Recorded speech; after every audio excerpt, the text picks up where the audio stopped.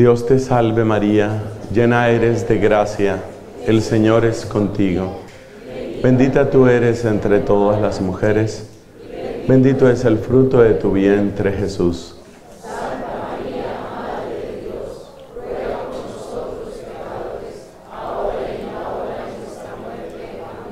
En el nombre del Padre y del Hijo y del Espíritu Santo. Amén. Siéntense, por favor. Amados hermanos, hemos hablado de pareja, pero la familia no es solamente la pareja. La familia también tiene unos seres que al principio son pequeños y luego se vuelven grandotes. Esos seres diminutos que van creciendo y creciendo suelen llamarse los hijos. Los hijos. Entonces vamos a comentar algunas pistas, yo las llamo pistas inesperadas en la educación de los hijos. Inesperadas porque no vamos a decir cosas demasiado extrañas, pero sí vamos a comentar cosas que parece que se nos están olvidando. Esta es la última predicación de nuestro retiro, después tendremos una breve oración de conclusión. ¿Qué cosa se nos está olvidando? Por ejemplo, primera afirmación, para quienes perseveran tomando sus apuntes, Dios los bendiga. A los otros, pues que el Señor les dé, digamos, unos tres cuartos de bendición. Entonces, primera afirmación, a los hijos se les empieza a querer o se les empieza a rechazar mucho antes de concebirlos. Oiga esa frase. A los hijos se les empieza a querer o se les empieza a rechazar mucho antes de concebirlos. ¿Por qué decimos esto? ¿Cómo es eso de que una persona empieza a querer a los hijos antes de concebirlos, antes de que existan? Pero es así, es la pura verdad. Y tristemente también es verdad lo contrario. Es decir, que también hay hijos que han sido rechazados mucho antes de ser concebidos. Y vamos a explicar por qué. Yo cuento una pequeña anécdota de mi familia. Cuando mi papá, que actualmente tiene 86 años de edad, tenía solo 12 años de edad, es decir, hace unos 74 años, qué barbaridad. Él estudiaba en el colegio de los jesuitas en Barranquilla, el colegio San José.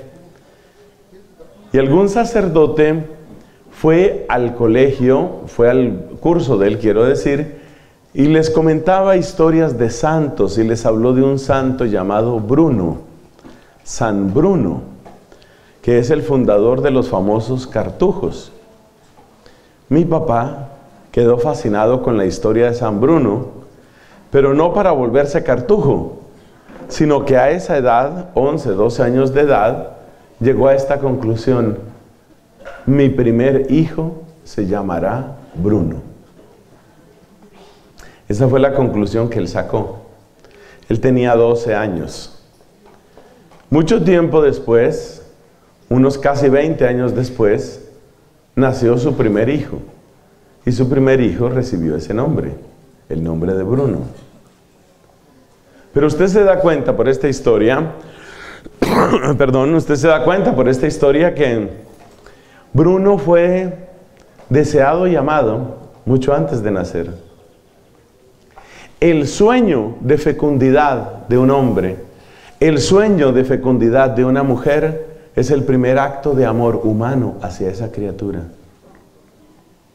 Es decir, la apertura a la vida, el amor a la vida que todavía no ha llegado.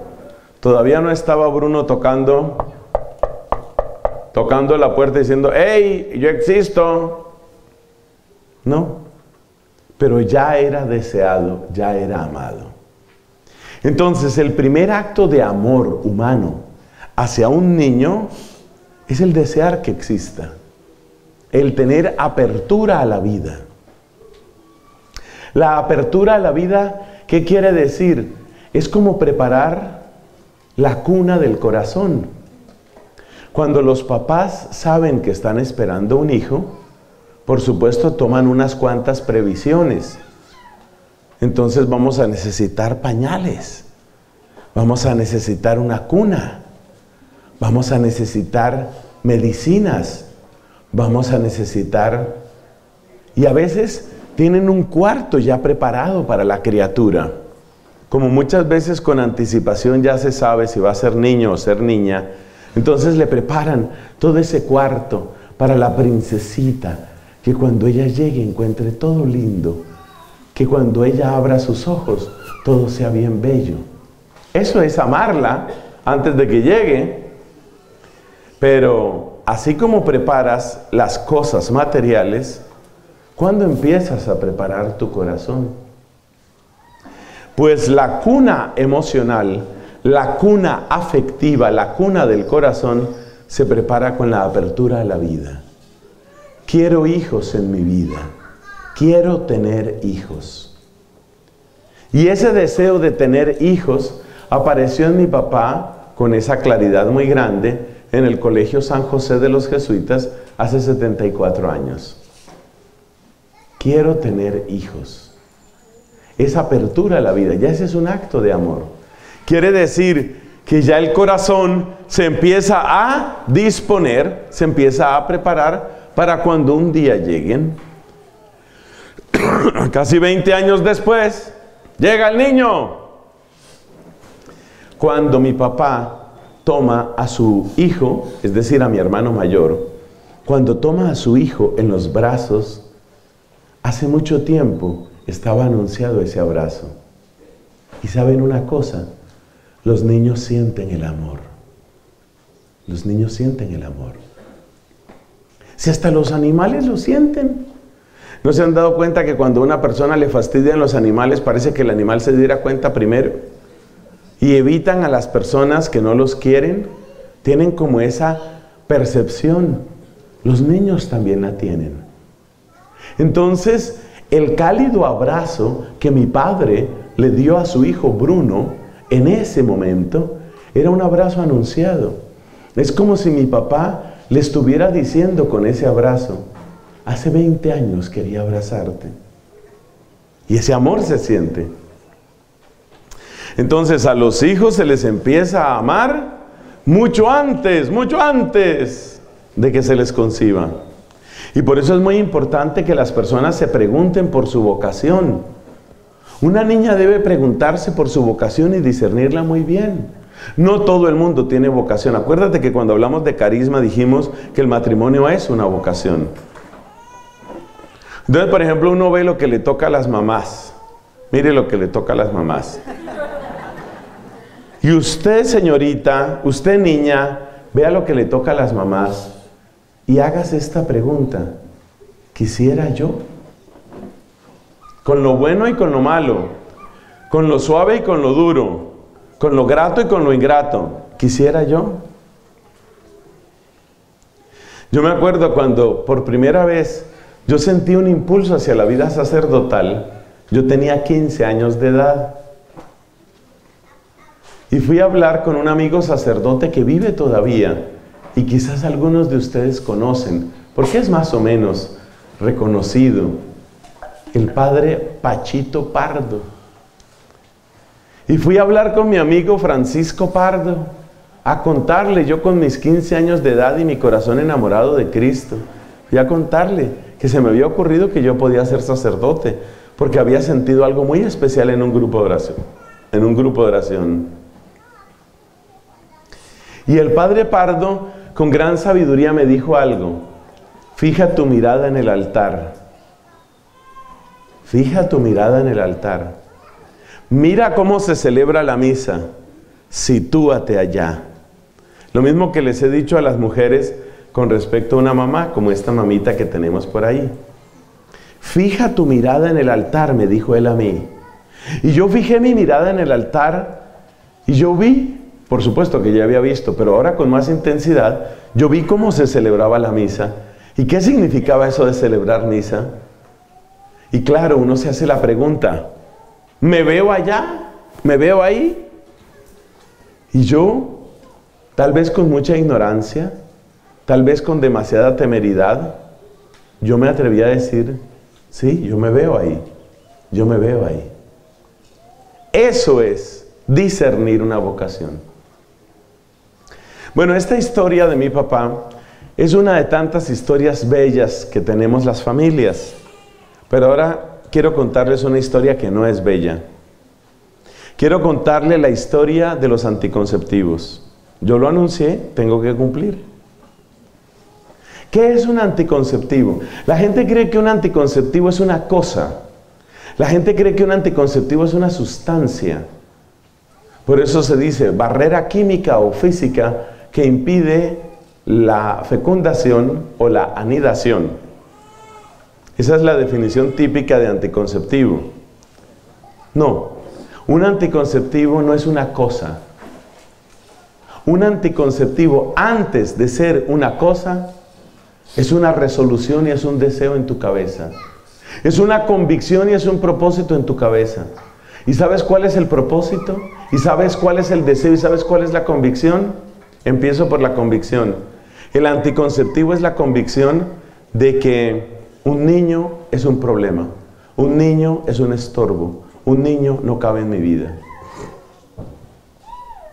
Entonces, así como mi papá, 20 años atrás, o sea, 20 años antes de que naciera Bruno, ya lo amaba, así hay personas que 10 años, 15 años, 20 años antes de que llegue su primer hijo, ya están rechazando los hijos. Hay algo muy interesante en el cerebro humano. Yo sé que a algunas personas les gustan y a otras personas no les gustan tanto estos datos de biología y de medicina, pero ténganme paciencia que esto sirve para ustedes y sirve para otras personas que luego vean el video. ¿A qué me refiero? El cerebro humano tiene una parte importante de su funcionamiento a partir de las conexiones que se hacen entre las neuronas. La célula del tejido nervioso se llama neurona. Las conexiones entre neuronas se llaman sinapsis. Y resulta que hay algo maravilloso en el cerebro humano. Eso maravilloso es que las sinapsis, las conexiones entre las neuronas, no vienen preestablecidas de fábrica. Las sinapsis pueden aumentar o pueden disminuir. ¿Y de qué depende eso? Depende del uso y propósito que tú tengas. Es decir, que cada uno de nosotros es arquitecto no solo de su vida, tú eres arquitecto de tu cerebro, tú haces tu cerebro.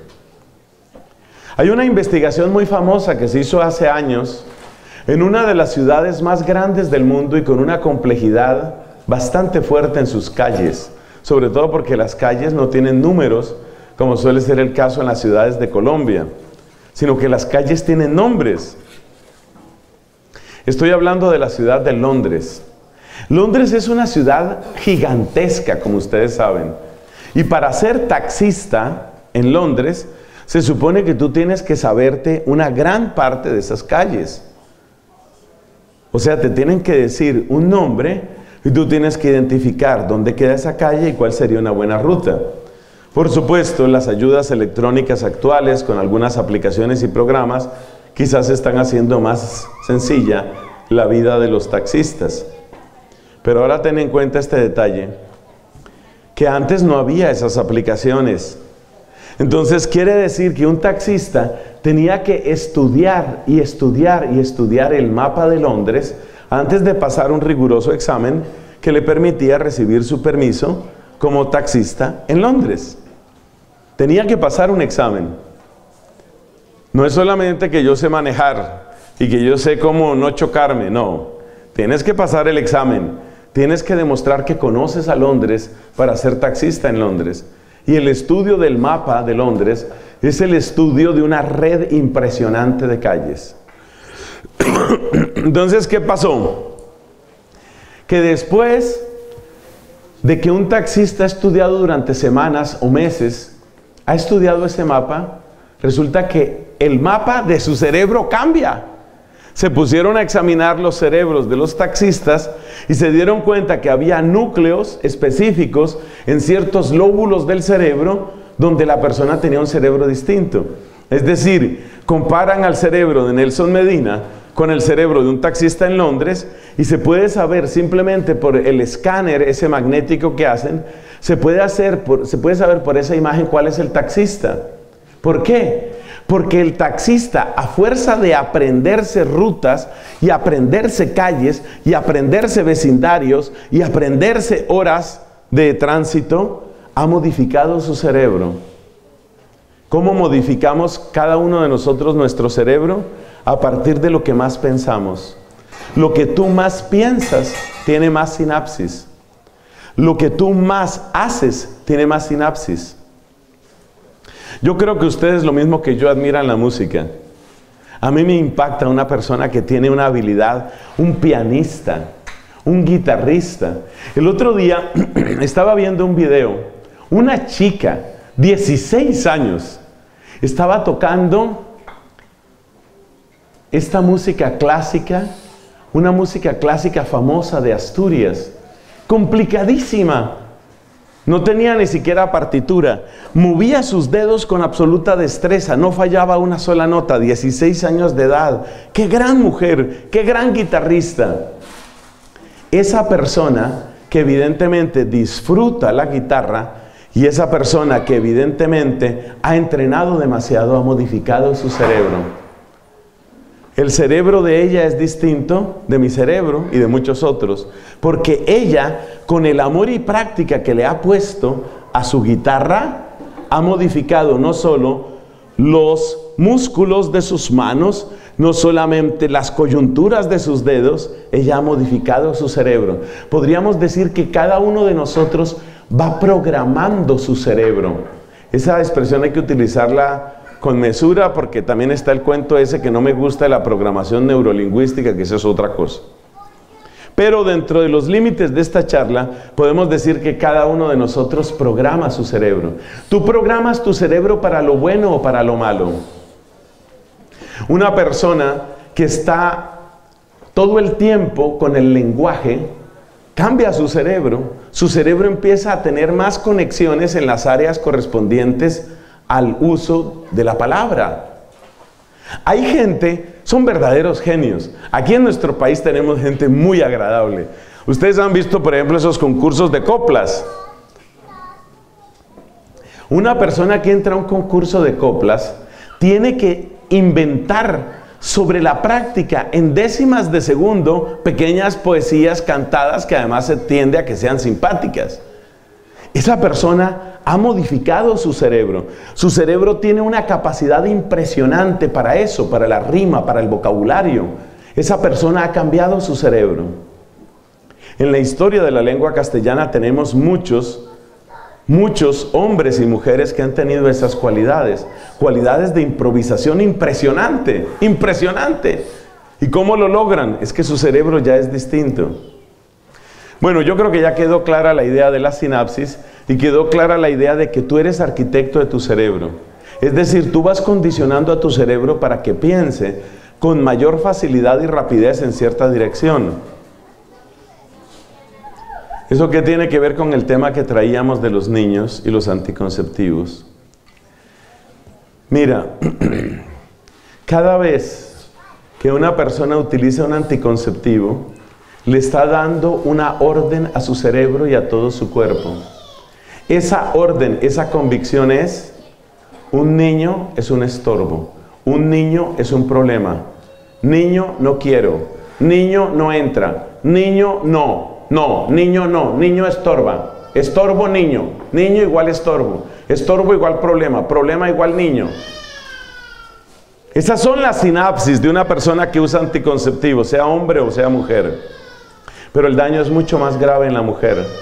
Porque como hemos comentado en otras oportunidades, resulta que dentro del corazón, dentro del cuerpo, dentro del cerebro femenino, hay toda una preparación para el don de la vida.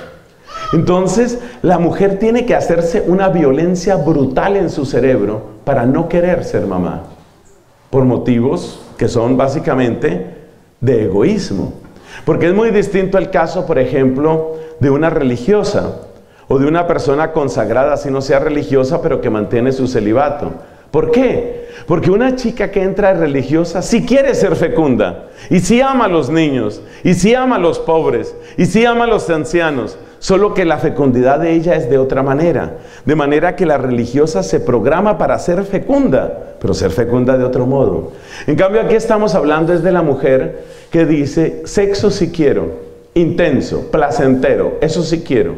Sexo que me asegure a mi hombre sí quiero, niño no. Sexo sí, niño no. Niño estorbo, niño problema, niño no cabe en mi vida. ¿Qué quiere decir esto? Esto quiere decir que el uso de los anticonceptivos implica una programación del cerebro femenino, una programación que significa rechazo, un rechazo tal cual, un rechazo a la fecundidad, un rechazo al niño. Bueno, hay otros problemas muy graves de los anticonceptivos. Voy a mencionar otros tres problemas de los anticonceptivos y luego volvemos sobre la sinapsis. El primer problema adicional, el, problema grave, grave es el que les acabo de decir. Es decir, la asociación cerebral y mental que lleva a la mujer a sentir niño no, niño no quiero, no quiero, niño no querer, niño no, no, niño no. Ese es el más grave. Pero además hay otros tres problemas graves, también serios. Primero, Resulta que la mejor escuela de infidelidad son los anticonceptivos. Y debe saber, toda mujer que utiliza anticonceptivos, casada o soltera, debe saber que le está haciendo el curso perfecto de infidelidad a ese hombre. El curso perfecto. ¿Por qué? Porque resulta que así como ella está repitiéndose a su cerebro como quien se autosugestiona, niño no, niño no, niño no, ella le está repitiendo a su hombre, a su esposo, a su novio, le está repitiendo todo el tiempo, sexo sin compromiso, sexo como juguete, sexo como diversión, sexo sin consecuencias. Porque eso es, esa es la razón por la que la gente, por la que la gente quiere estos anticonceptivos, porque quiere todo el placer del sexo sin ninguna de las consecuencias naturales de procreación que implica el sexo. Entonces, quiere decir que cuando tu mujer te pones el dispositivo intrauterino, cuando tu mujer estás tomándote tus pastillas para suprimir los procesos naturales de tu cuerpo, con lo cual, dicho sea de paso, estás entrando en riesgos de salud de los cuales vamos a hablar en un minuto. Cuando tú te pones ese parche para poder fornicar a gusto, cuando tú haces ese tipo de actos, querida dama, ¿sabes lo que estás haciendo? Lo que tú estás haciendo es enviándole un mensaje al cerebro de ese hombre. Le estás diciendo, el sexo es un entretenimiento entre tú y yo. Es para que disfrutemos, es para que nos sintamos bien, pero de aquí no va a pasar nada. Es decir, sexo igual entretenimiento sin consecuencias. Y ese es el curso que las esposas le dan a los esposos cuando usan anticonceptivos. Entonces, ¿qué pasa? que el cerebro masculino empieza a asimilar la lección. Sexo igual entretenimiento sin consecuencias. O entretenimiento sin consecuencias. O entretenimiento sin consecuencias. Y si es entretenimiento sin consecuencias, ¿por qué no puede ser con otra mujer? No tiene consecuencias.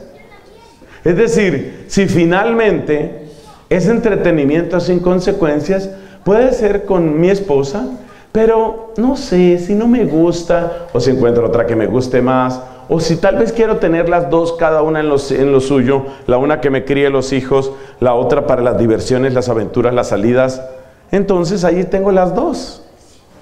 Entonces tú con tus anticonceptivos le estás haciendo el curso de infidelidad a tu hombre, porque le estás diciendo sexo significa entretenimiento sin consecuencias. Por el contrario, cuando una mujer se pone seria en este tema y cuando una mujer dice, un momento, un momento, en primer lugar nosotros no vamos a tener sexo sin casarnos. Lo cual viene pues toda una educación y todo esto, pero supongamos que ella se puso firme en eso. Se casan, y entonces, bueno, listo, entonces ¿qué? Se toman sus pastillas porque vamos a tener unos dos años para disfrutar. No, ningún dos años para disfrutar. Dos años para disfrutar quiere decir que yo te voy a hacer, yo mujer, te voy a hacer un curso de dos años para que tú seas infiel conmigo. Olvídate, olvídate. Esos dos años que la gente llama para disfrutar son los dos años en que el hombre tiene que entrenarse. ¿Tiene que entrenarse en qué? Entrenarse en saber respetar, conocer, escuchar el cuerpo de su mujer. El cuerpo femenino tiene que ser ¿No se acuerdan que hablamos precisamente que había que, ¿cómo fue? Observar más, comunicar mejor y tomar más iniciativas. ¿Se acuerda o no se acuerda? Bueno, hay seis que se acuerdan, gracias a Dios. Entonces, observar más. Entonces, los métodos llamados naturales tienen esa cualidad. Observa el cuerpo de tu mujer, conócela, cómo siente ella, cómo vive, qué ritmos tiene. Y aprende que para la comunicación afectiva con tu mujer no siempre implica sexo. Perdónenme que tenga que ser tan explícito. No siempre implica orgasmo, eyaculación o si no, no quede contento. Es muy triste que un hombre se vuelva un cemental y me perdonan. Es muy triste que un hombre considere que la única manera de sentirse contento con su esposa es satisfaciéndose él hasta que él quiera. Aprenda, aprendamos los varones, aprendamos de la mujer. ¿Cómo es que la mujer tiene esa capacidad de disfrutar tantas cosas y no todo tiene que acabar en orgasmo para decir las cosas como son? No todo tiene que acabar ahí. También existe la ternura, el romance, la escucha, la risa, la complicidad en el buen sentido de la palabra. Entonces, los métodos naturales son una preciosa escuela de formación en la sexualidad masculina, porque el hombre está aprendiendo que no es nada más, tengo ganas, prepárese que para allá voy, tengo ganas, prepárese. En cambio, la mujer que está sometida a anticonceptivos, violentando su propio cuerpo, ¿en qué se convierte? Se convierte en, él tiene ganas, ¿qué hago? Él tiene ganas, ¿qué hago? Hasta que al final la única solución que le da el mundo contemporáneo es llénese usted también de ganas entonces. Empiecen a competir. Usted como mujer puede tener hasta más orgasmos que él. ¿Qué es eso, por Dios? ¿Qué clase de bestias nos estamos volviendo los seres humanos? La idea es que la mujer humanice la sexualidad del varón, no que el varón masculinice a la mujer y la convierta en una máquina de orgasmos. Esa es la grandeza de estos métodos naturales. Entonces fíjate la desgracia que traen los métodos anticonceptivos. Los métodos anticonceptivos traen una escuela de infidelidad. Varias veces he comentado lo que me sucedió en una población de Cundinamarca, cerca de la ciudad de Bogotá. Fui allá a predicar una convivencia, retiro, en fin, un encuentro. Y, yo hablo de estos temas, es que yo llevo muchos años hablando de estos temas. Yo por eso digo, cuando la gente me invita ya saben a qué atenerse porque ya saben qué es lo que el lenguaje que yo utilizo. Yo no voy a esconder la verdad de la iglesia, que además ustedes ven que tiene una base científica seria, yo no escondo eso. Entonces fui a esa población y he hecho yo toda la explicación sobre el tema de los anticonceptivos y una mujer entonces se me enfrenta a una muchacha relativamente joven, me acuerdo, más bien llenita, rellenita ella, pero bueno, eso no importa aquí. Sí importa en el sentido en el que yo dije, donde esta mujer se venga, el impacto es fuerte. Sería una colisión bastante fuerte. Pero resulta que la mujer rellenita me dice, no, pero ¿qué es eso? Y de una vez lo atacan a uno como sacerdote. No, ¿usted qué va a saber de eso? Ustedes que ni siquiera se casan, ustedes que son unos hipócritas y no sé qué, y así toda petulante. Años después volví a esa misma población. Y la mujer esta Dios la haya bendecido y ayudado siempre. Tuvo la humildad de volver a ir al retiro sabiendo que era yo. Y tuvo la segunda humildad de acercarse a hablar para decirme, Padre, discúlpeme, usted tenía razón, mi esposo hace un año que me abandonó. Es que los anticonceptivos son la escuela de la infidelidad. Usted, en el momento en el que usted, mujer, acepta anticonceptivos, usted acepta que usted es una cosa para gozarla. Usted ya aceptó eso. Y si usted es una cosa para gozarla, me perdona, pero ya el hombre encontrará otras cositas también para gozarse. Entonces ese es un problema. Segundo problema de los anticonceptivos. Hay gravísimos problemas de salud, gravísimos. Como siempre les digo, no me crean a mí. Investiguen por ustedes mismos. Pongan anticonceptivos orales que son los que la gente considera que son la maravilla. Anticonceptivos orales y problemas de salud. Por supuesto, como suele suceder en Internet, hay mucha más investigación y mucho más material en inglés que en nuestro idioma. No importa, utilice un traductor, entérese. Qué cosa tan seria. Los principales problemas físicos de los anticonceptivos, ¿cuáles son en la mujer? Primer problema gravísimo, adelgazamiento, casi cristalización del endometrio. Es decir, usted queda arruinada incluso si después quiere ser mamá. Es que eso de poner al cuerpo como si fuera una palanca, ahora quiero, ahora no quiero hijos, así no funciona el cuerpo. Usted empieza a tomar anticonceptivos y usted empieza a perder endometrio. Y usted empieza a adelgazar el endometrio. Y usted empieza a cristalizar su endometrio. Y después, ahora sí quiero, ahora sí. Y el cuerpo dice, ahora no. Y yo ya conozco varios casos de eso. De mujeres que dijeron, ahora no. Y al cuerpo le tocó someterse. Entonces después ella dijo, ahora sí. Y el cuerpo dijo, se te pasó la hora. Ya tu endometrio no tiene recuperación. Los anticonceptivos orales tienen problemas de trombosis. Usted sabe lo que es un trombo. Un trombo es una acumulación de sustancia mayormente sólida dentro del torrente sanguíneo que si se para, que si bloquea un vaso sanguíneo, por ejemplo en su cerebro, usted tiene un problema muy grave. Porque entonces usted pierde irrigación en una parte de su cerebro y eso puede ser muy grave. Eso se llama isquemia. Eso es gravísimo. Un trombo de esos, si es de cierta proporción, se para en el pulmón y usted tiene un paro respiratorio, usted tiene un paro cardíaco.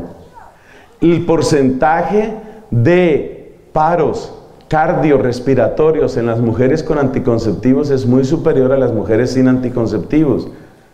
Es que es apenas natural, piénselo usted. Es natural que la mujer tenga sus periodos. Tan natural como es natural para usted ver, tan natural como es natural para todos comer, tan natural como es natural que nuestro cuerpo sude. Es algo natural.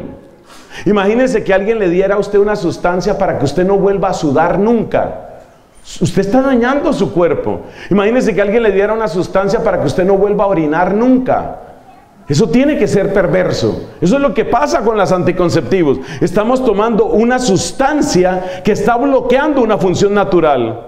Y por eso muchas de estas chicas que están utilizando anticonceptivos tratan de aliviar conciencia tomando agua orgánica, comiendo huevos de gallina feliz, espárragos orgánicos, zanahorias de la huerta de la abuela, y creen que con todas esas cosas naturales, ¿y cómo es que llenas tu vida de todas esas cosas naturales?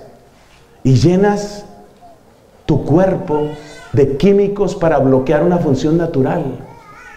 Estás bloqueando una función natural. Entonces vienen problemas de trombos, vienen problemas de cambios de ánimo impredecibles. Yo leí el testimonio, ahí sí le tengo que dar el crédito a la BBC porque fue la BBC la que lo publicó que suele ser tan adversa en todos estos temas. La BBC publicó el testimonio de una mujer que duró batallando con unos cambios de ánimo que ella no sabía ni cómo manejar. Más de 12 años duró ella con unos cambios de ánimo terribles. Se encontraba dos y tres meses en unos estados de depresión, todo el día al borde de las lágrimas por cualquier cosa. O sea, estaba en un estado de predepresión o de depresión neta. Y no le encontraban por qué. Y examinaban su entorno, y examinaban su familia, y examinaban cosas y cosas. Y siempre salía todo bien, excepto que seguía tomando anticonceptivos. Ustedes saben que las hormonas femeninas, las hormonas propias del ciclo de la mujer, afectan un poco su talante emocional, afectan sus emociones. ¿Y qué son los anticonceptivos orales? ¿Qué son? Son grandes dosis de hormonas. Entonces, hay una gran cantidad de mujeres, lean datos, lean estadísticas, no me crean a mí. Hay una gran cantidad de mujeres que empiezan a registrar problemas de obesidad, problemas de depresión, problemas de inestabilidad, problemas de inseguridad, problemas de memoria y todos vinculados a anticonceptivos. ¿Y por qué toca estar tomando el anticonceptivo y el anticonceptivo y el anticonceptivo? Porque si no pierdo a este hombre. Porque si no le doy la, la, dosis de sexo, entonces lo pierdo. O a veces porque la misma mujer ya se ha acostumbrado también a eso, porque ella también disfruta, ni más faltaba. Entonces, dése cuenta los problemas de los anticonceptivos. Entonces hay problemas serios de salud. Problemas muy serios de salud. Pero el problema más grave, desde el punto de vista moral, y esto ya lo saben muchos aquí en Lazos de Amor Mariano, es que la gran mayoría de los anticonceptivos en realidad son, son, claro, ve que sí se lo saben. Los que son más directamente abortivos, los que son diseñados exactamente como abortivos son sobre todo dos. Los intrauterinos, los dispositivos intrauterinos, todos son abortivos, todos. El dispositivo intrauterino no impide la fecundación, es decir, la unión entre el óvulo y el espermatozoide, no lo impide el dispositivo intrauterino, no lo impide. Claro, porque para impedirlo tendría que bloquear completamente la matriz y eso no se puede hacer, porque la mujer tiene que seguir teniendo pues su ciclo y su periodo y todo aquello. Entonces el dispositivo intrauterino no impide la fecundación, porque si llega la semilla masculina se da la fecundación. Entonces, ¿qué es lo que impide el dispositivo intrauterino? La implantación. Es decir, si tú tienes un dispositivo intrauterino, cuando te vayas a confesar, es necesario, te lo digo con toda la seriedad y en el nombre de Jesucristo vivo, es necesario que tú digas, yo creo que yo potencialmente he abortado a uno o más hijos, porque yo me hice poner un dispositivo intrauterino. Es posible que el sacerdote, como tristemente estamos en una época en que muchos sacerdotes como que no tienen tan clara la doctrina, es posible que el sacerdote diga, no, no lo tome así, no se preocupe, al fin y al cabo usted estaba en una situación difícil. ¿Y a quién se le ocurre que en una situación difícil voy y le corto el cuello entonces a mi bebé para no gastar más en pañales? Es que es lo mismo, por Dios, es lo mismo. Es un ser humano. Entonces, todo dispositivo intrauterino es abortivo. Como existe alguna probabilidad, yo no miro a nadie por supuesto, pero como existe alguna probabilidad de que alguna de las damas aquí presentes tenga un dispositivo de esos, sepa que su matriz es una máquina de abortar. Sépalo, téngalo claro, téngalo claro. Y tenga claro que cualquier acto sexual realizado con eso es un acto potencialmente abortivo, porque eso fue diseñado para eso, para matar seres humanos. Que porque son diminutos. ¿Y qué pasa con eso? ¿Cuál es la diferencia? ¿No vamos a respetar al ser humano que es pequeño? ¿Cuál es el tamaño de un óvulo? Eso lo hemos comentado varias veces. Está entre 0.8, 0.9, habrá algunos que llegan al milímetro. Eso quiere decir que un óvulo que ese es el tamaño de un ser humano fecundado, un óvulo tiene ese tamaño, como 0.9 milímetros. Quiere decir que un óvulo fecundado, en condiciones, ciertas condiciones favorables, se puede ver, se puede ver a simple vista, sin lupa ni microscopio, se puede ver ahí el ser humano. Entonces, querido caballero, aquí presente, ¿cuál fue su primera estatura? 0.9 milímetros. Esa fue su primera estatura. Señora muy querida y muy respetada, su primera estatura, 0.9 milímetros. Esa fue nuestra primera estatura siempre. Eso fue lo primero. Y para consuelo de los que son un poquito gorditos, ese óvulo no tenía cintura. Entonces, tu primera estatura, ¿cuál fue? 0.9 milímetros.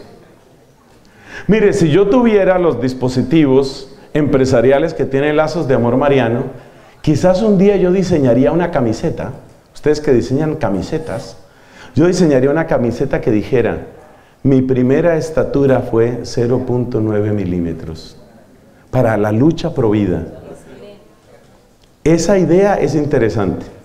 Ustedes ponen ahí todo su letrero, lazos de amor mariano, totus tus, ¿quién como Dios? Nadie como Dios.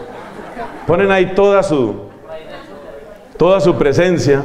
No, yo, yo desaparezco en la penumbra, no se preocupen por mí. Pero ponen ese letrero. Mi primera estatura fue. Mi primera estatura fue. el otro dispositivo que es químico y que es totalmente diseñado para matar, se llama la píldora del día después.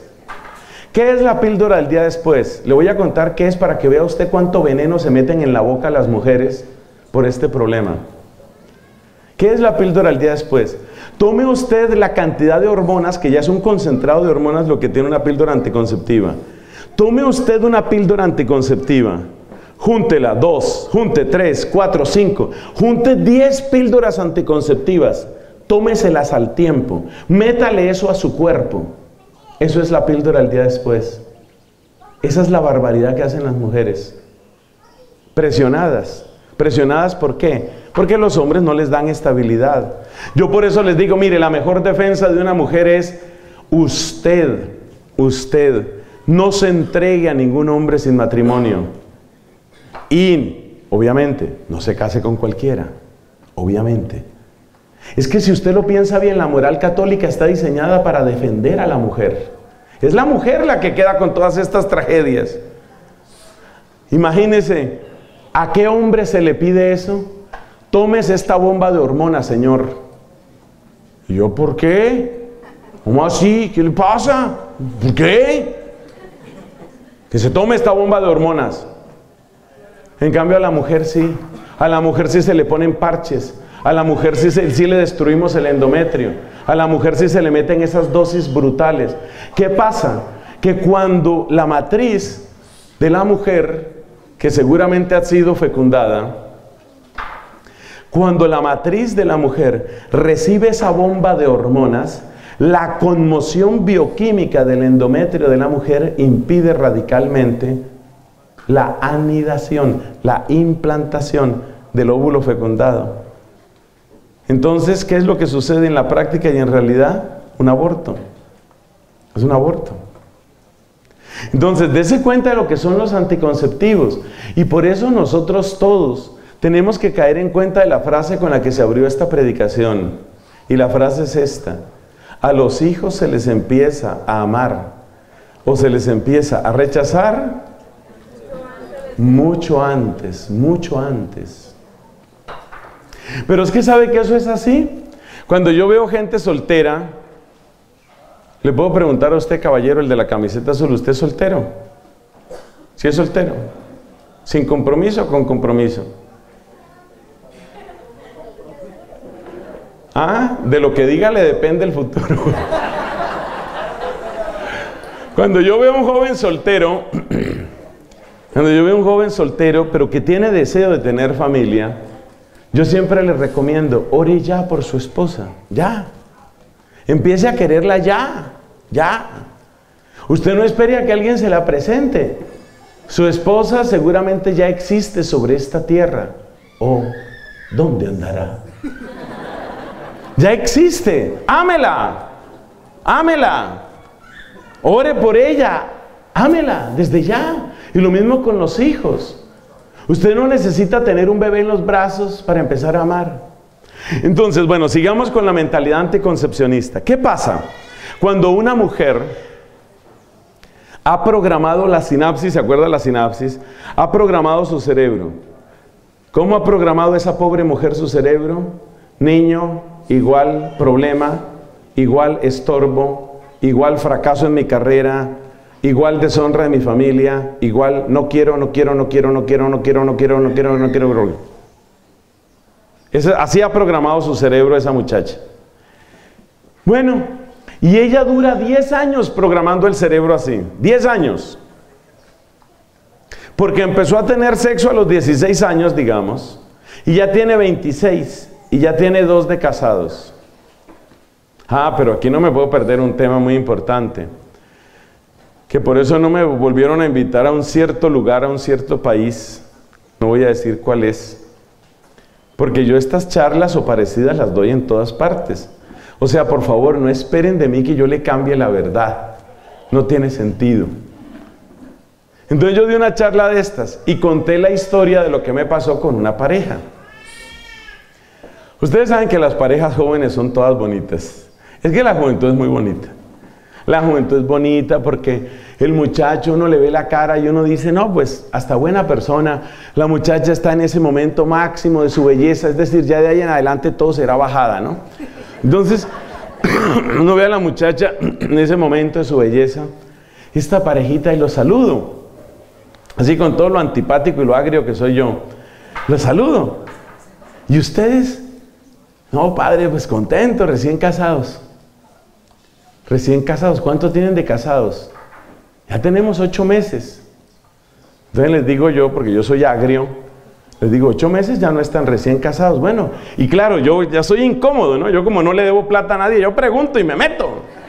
Claro, cuando uno tiene las manos atadas uno no habla, pero cuando uno tiene las manos libres uno habla. Y entonces le pregunto, bueno, hijos qué? Y me responde la muchacha. No se me olvida la cara porque es que además tenía una cara así como de reina de belleza. Qué niña tan linda. Entonces me dice ella sonriendo con su mejor sonrisa para explicarle al padre bruto colombiano que llegó. Para explicarle al padre bruto torpe. Entonces le dice, padre, es que primero, primero queremos disfrutar un poco. Primero queremos disfrutar un poco. Em, queremos acoplarnos, queremos entendernos. Y tal vez una chica que estaba sobre los 28 años ya en ese momento. Y tal vez en un par de años encargamos. Esos eufemismos que se inventan, ¿no? Encargamos. O sea, llevaban ocho meses, yo inmediatamente hice la aritmética, llevan ocho meses de casados, más dos años, eso es bastante tiempo. Eso es bastante tiempo. Y entonces les digo yo, y cuando llegue el niño se les acaba el disfrute. Por eso no me volvieron a invitar. Porque fíjate el, lenguaje de ellos, ¿no? Primero vamos a disfrutar. Primero disfrutamos. Y luego ya llega el niño. ¿Qué significa ese lenguaje? ¿Qué significa? Que cuando llega el niño se acaba el disfrute. Es decir, el disfrute es pasear, restaurantes, parques nacionales, centros comerciales, vacaciones de lujo, piscinas exóticas, buceo en medio de tiburones. Eso es disfrutar. Y ya cuando nos cansemos de restaurantes y de hacer el sexo en todas las posiciones, y ya cuando ya nos cansemos de repetir toda la pornografía que hemos visto, entonces ahora sí los niños. Ahora sí los niños. Fíjate hasta dónde llegan las sinapsis en la cabeza de una mujer. Y vaya cabeza bonita, pero qué vacía. Qué bonita y qué vacía esa cabeza. O qué mal sina, qué malas colecciones sinápticas había en esa cabeza. Entonces fíjate que ella, ¿cuál es la lógica de esa mujer? La lógica de esa mujer es, yo disfruto. Oye la lógica, yo disfruto. Y cuando llegue el niño, ya se me acaba el disfrute. Ese lenguaje, ¿qué significa? Ese lenguaje significa que en ella está claro lo que hemos dicho de la sinapsis. Es decir, para ella el niño es un estorbo.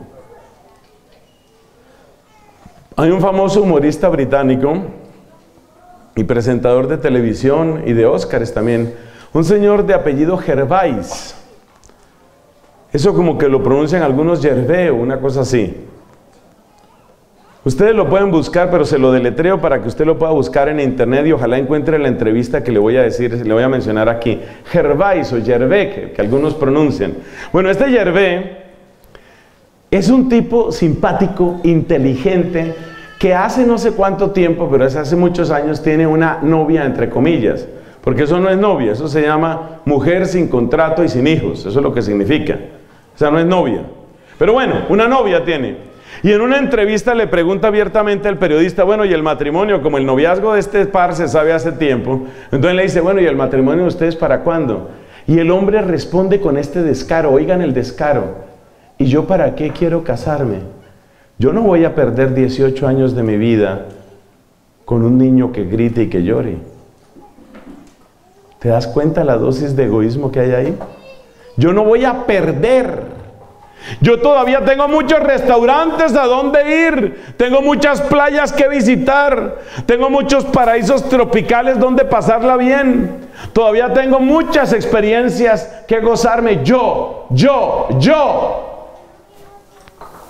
Y por eso la gente está ahora prefiriendo las mascotas, Porque la mascota no pone ninguna condición.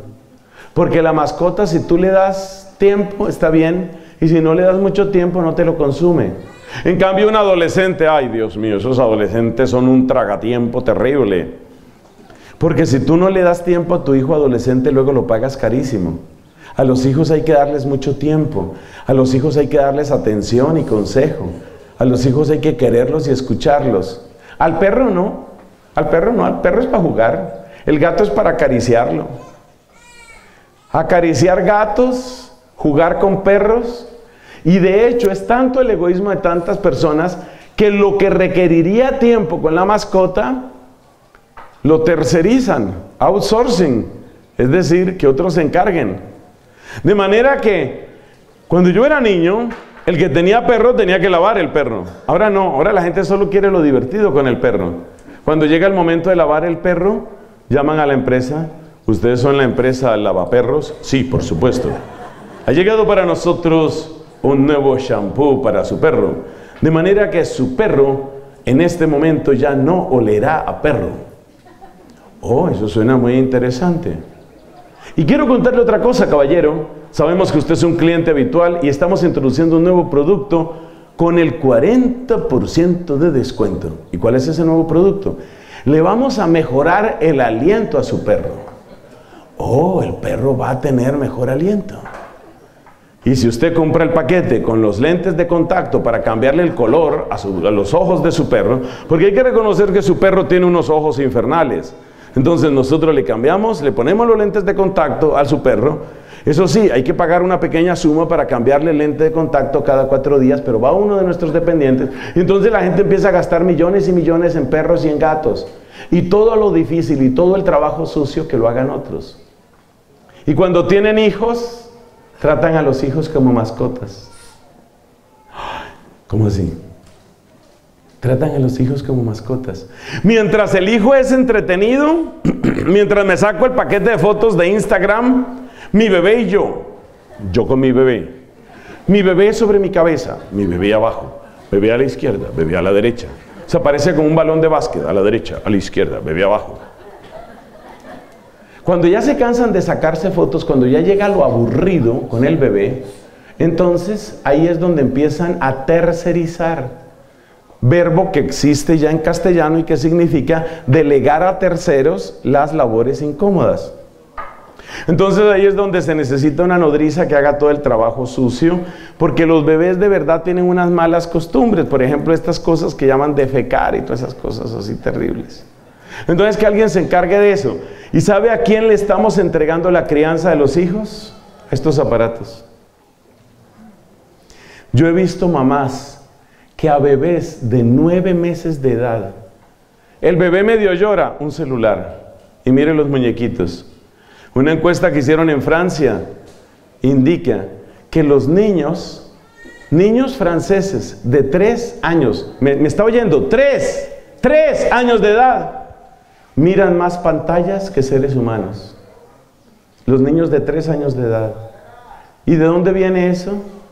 de la mentalidad anticoncepcionista. Claro, porque es que esa mujer, esa mujer que sentía que era un estorbo, ese hijo, un estorbo, niño igual estorbo, estorbo igual niño, niño igual problema, problema igual niño, niño no quiero, no quiero, no quiero, no quiero, no quiero, no quiero, no quiero. Esa mujer, cuando dice ella, dice, dice, dice ella, que se resuelve a tener hijos, esa mujer cuando se resuelve a tener hijos, en realidad lo que quiere es lo simpático del hijo, así como la gente quiere lo simpático del perro. Pero cuando hay que mejorarle el aliento al perro, que lo haga la empresa esa. Cuando hay que lavar al perro, que haga la empresa esa. Cuando hay que pasear al perro, esa es una de las profesiones que más dinero está dando, pasea perros. Eso da plata. Y ve uno a la gente con ocho perros por aquí y ocho perros por allá. Y van caminando con su poco de perros. Y van caminando, caminando caminando hasta donde ya no hay cámaras, amarran los perros y empiezan a chatear. ¿No han visto fotos? ¿No han visto fotos? Y la gente se gana la plata fácil. Y después de media hora estar chateando ahí con la novia y diciéndole yo aquí paseándole estos perros a este poco de ricos desgraciados. Eso es lo que ponen ahí. Claro, conozcan la vida, caray. Me miran con cara de que, ay, sí, ¿verdad? ¿Cómo vas a decir? ¿Sí? ¿En serio? Después de media hora de chatear con la novia o una de las novias que tienen, vuelve y agarra. Agarra su poco de perros. Yo por eso cuando veo gente que tiene demasiado bíceps, yo digo, ¿será perros? Yo no pienso si son de gimnasio, yo digo, ¿serán perros o qué serán? Entonces llegan y van entregando a sus perros. Entonces todo lo difícil lo tercerizan, todo lo difícil que lo hagan otros y yo les pago. Y lo mismo quieren hacer con los hijos. Y por eso quieren que los hijos se los críe la nodriza, la empleada del servicio, el celular, el internet. Los primeros que vuelven adictos a internet a los hijos son los papás. Eso no empieza por los hijos. Eso no empieza por los hijos. Y por eso ahora los psicólogos están diciendo, antes de 12 años ningún niño debe tener celular. Y antes de 16 años ningún niño debería estar en ninguna red social, mucho menos las niñas. Porque ustedes saben que las niñas son presa de un crimen que se llama grooming. G-R-O-O-M-I-N-G. Conozcan por favor que para eso vienen a los retiros. Grooming. G-R-O-O-M-I-N-G. Lean en internet qué es eso. Grooming, ¿qué es? Es un adulto haciéndose pasar por adolescente, adoptando el lenguaje de los adolescentes para entrar en comunicaciones íntimas con niñas. ¿Y qué es grooming? Literalmente significa cultivar o arreglar a la persona para tenerla lista y luego abusar de ella. Hay unas historias escalofriantes de grooming que están sucediendo ahora. Pero ¿dónde, quiénes empezaron eso? ¿Quiénes, quiénes, quiénes, quiénes? Los papás. Son los papás los que empiezan esos procesos. Son los papás los que vuelven adictos a las redes sociales. ¿Por qué? Porque aunque los papás se quejan, así de labios para afuera se quejan. No, es que esos muchachos ahora viven metidos en su celular. No, señores, esas fueron las reglas que usted dejó meter en su casa. Yo que he conocido papás canadienses, y se supone que Canadá es un país muchísimo más liberal que nosotros, papás canadienses que desde el momento en el que le dan celular a un niño o a una niña y no se lo dan antes de los 15 años, la regla es, cuando estemos sentados para comer, no hay ningún celular aquí. Si tú educas a tu hijo desde el principio, los niños aprenden las reglas. Pero hay que empezar desde pronto. No te dejes coger ventaja. Entonces el problema real no son tanto los adolescentes. El problema real son los papás. Y llega un momento en el que el adolescente se desquita a mí me invitaron a Arequipa, Perú, para un encuentro de educadores, la cosa más interesante del mundo, porque uno de los temas que se trató fue esta violencia juvenil, que a veces toma el nombre de vandalismo. Han oído hablar, ¿no? Violencia juvenil. Fue uno de los temas que se trató en ese congreso en Arequipa, Perú. Qué cosa tan interesante, porque es oír a los expertos, oír la gente que sabe de los temas, a mí eso me gusta. No oír por ahí cualquier improvisado, sino oír gente que sabe eso. Y saben lo que comentaban. Una cosa que salió en ese congreso. Los adolescentes manifiestan una ira contenida porque no se han sentido amados. Claro. ¿Usted cree que un perro no se da cuenta cuando usted no lo quiere? ¿Usted cree que un pájaro no se da cuenta cuando usted no lo quiere? ¿Usted cree que una gatica no se da cuenta cuando usted no la quiere? ¿Usted cree que su hijo no se da cuenta que usted en realidad no lo ha querido? ¿Usted no, se, no cree que su hijo se da cuenta que usted aplazó el nacimiento de ese hijo? Lo aplazó muchos años. ¿Y sabe por qué? Porque usted necesitaba muchos restaurantes. Y usted necesitaba muchas piscinas y muchas montañas. Y usted sentía, ya cuando llegue el hijo, y ese hijo es el que está ahora poniendo problemas, ya cuando llegue el hijo, ahí se nos acaba el disfrute. ¿Usted no cree que la sinapsis de su cerebro le mandaron un mensaje a la sinapsis de ese niño? ¿Usted no cree que el niño se da cuenta de eso? Que yo fui el que le acabé la alegría y los paseos a mis papás y a mis mamás. Los niños se dan cuenta de todo, de todo se dan cuenta. Entonces, mucha de la agresividad y mucho del vandalismo de los hijos, no todo, no todo. Este es un problema muy complejo que no se puede simplificar demasiado. Pero óigame lo que le estoy diciendo. Mucho del vandalismo de los hijos empieza en que están pagando con la misma moneda. No se han sentido amados. Así de sencillo. no se han sentido amados, no se han sabido amados. ¿Y cuál es la única manera? Y con esto vamos llegando al final de este tema. Y no sé si me volverán a invitar, pero yo procuro hablar lo que tengo que decir. Miren, ¿cuál es la única manera de que un hijo se sienta amado? La estrategia básica no consiste en lo que tú le des, no es en las cosas, no es el dinero, ni siquiera es, ni siquiera es si tú eres muy simpático o no simpático con él. Los hijos detectan el amor de los papás básicamente en tres cosas. Primero, el tiempo. Y cuanto más importante sea mi papá, y cuanto más importante sea el cargo de mi papá, el tiempo que él me dé. El tiempo es una cosa que no es negociable. En una época se decía mucho, no es la cantidad, es la calidad. Entonces ahí teníamos a esas mamás supergerentes. Eran gerentes de la banca regional, sección Australia, pero trabaja desde Cali. Esa mujer vive metida en aeropuertos, hoteles, reuniones, congestionada de trabajo, con el ceño permanentemente fruncido. Una gran parte de lo que ahorra es para el próximo Botox, para que no se le vean las arrugas de la angustia. Solo tiene media hora para los hijos. Pero es media hora de calidad, dice ella. Ay, no me venga con esas historias. Media hora a la semana. En media hora, bueno, hijo, tenemos 29 minutos, pero habla rápido porque ya nos van quedando 28. Pero es 28 minutos de calidad. No sé qué decir, mamá. Hijo, ya nos quedan 27. No, no me vengan con esas historias. Tiempo es tiempo. Claro, tiempo de calidad, pero también de cantidad. Tiempo de cantidad. Hay una historia que yo he contado muchas veces, la de ese papá que le pregunto, bueno, ¿y cómo están tus hijos? Y me dice, bueno, el grande, el mayor está como así. Y el menor como así. Mayor, menor. Solo los veía acostados. Solo los veía acostados. Cuando se iba estaban durmiendo, cuando llegaba ya estaban durmiendo.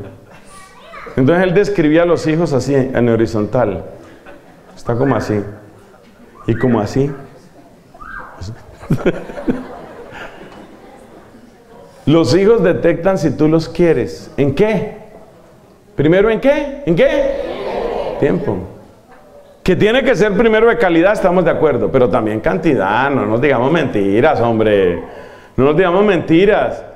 Apenas tengo tres minutos para hablar contigo, pero van a ser tres minutos muy intensos. No. Tiempo de cantidad, pero sobre todo de calidad, las dos cosas. Ahí lo detectan. Segundo, el lenguaje físico es importante. El lenguaje físico es importante, muy importante. El lenguaje físico es la mirada, es la sonrisa, es el tono de voz, es el abrazo. Tus hijas necesitan abrazos. Tus hijos necesitan abrazos. Entonces, segundo, segundo elemento, el lenguaje corporal. Eso no se puede fingir. Esos que son supergerentes de las superfábricas y las superempresas llegan a la casa también así con porte gerente. ¿Y cómo va el proyecto calificaciones, hijo? El proyecto calificaciones. Y el hijo responde, no va papá. Quítate esa bendita, fíjese que no, dice, no dije ni berraca ni nada de eso. Quítate esa bendita pose de gerente en tu casa. Quítatela.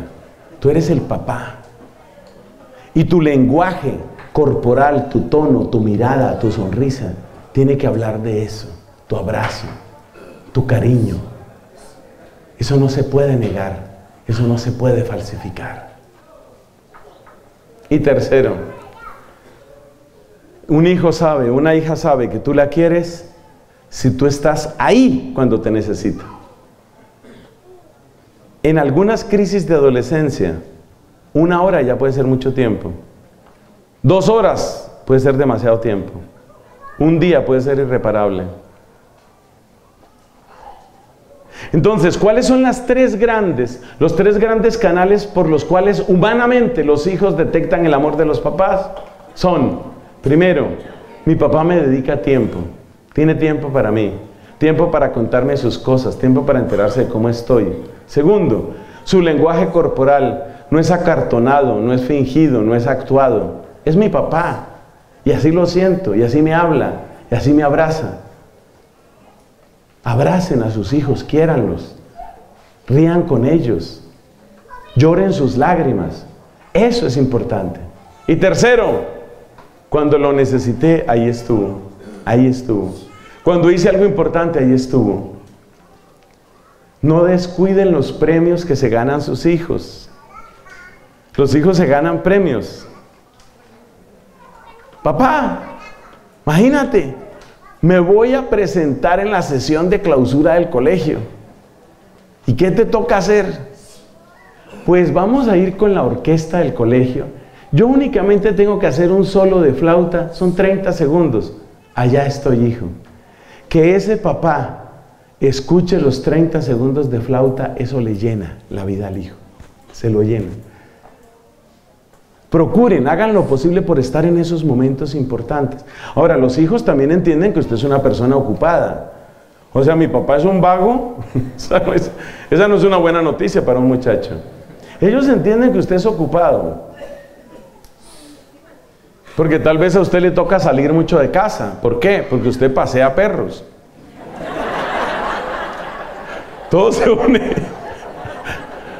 Entonces, entonces, den amor a sus hijos, den tiempo a sus hijos. Mire, la mejor inversión que ustedes pueden hacer como papás es esto que les he dicho. Tiempo, lenguaje corporal y saber estar ahí en el momento preciso. En el momento preciso.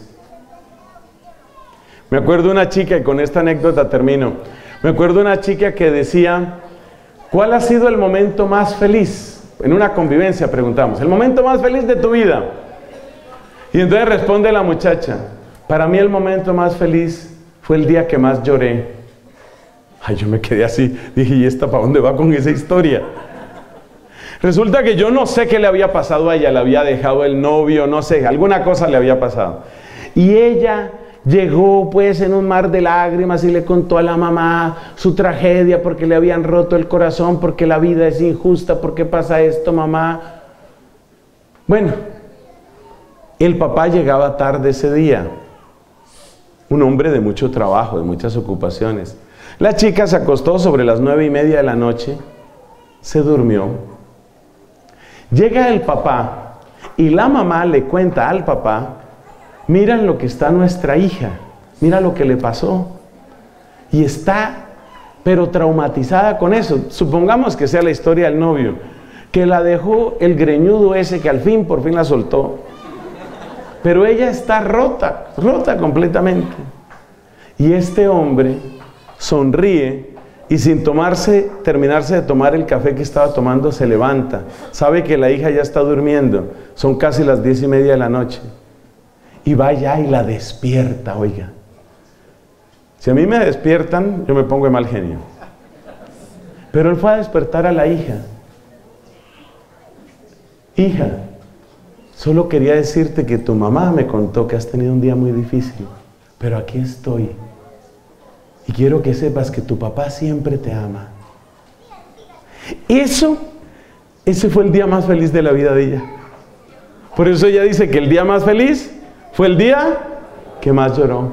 No tiene que ver una cosa con la otra. O sea, lo que la hizo feliz no fue el llanto. Lo que la hizo feliz fue, soy tan importante para mi papá que mi papá se atrevió a despertarme solo para decirme que me quería y para decirme que estaba conmigo y para decirme que siempre iba a estar conmigo. Llenen de esos detalles de amor a sus hijos y verá que dejamos sin trabajo a los psicólogos, a los psiquiatras y a más de un confesor. Yo como tengo un hermano que es psicólogo, siempre que digo esta frase tengo que pedir perdón después, ¿no? Hermanos míos, llenen de amor sus familias. El resumen de esta charla es muy sencillo. No se dejen seducir por la mentalidad anticoncepcionista. Es veneno puro. Es destrucción para la pareja y para la familia. Y segundo, aprendan a amar sus hijos, quiéranlos. Y sobre todo, denles tiempo, sepan manifestarles el cariño que les tienen y estén ahí cuando ellos de verdad los necesitan. Gloria al Padre, al Hijo y al Espíritu Santo.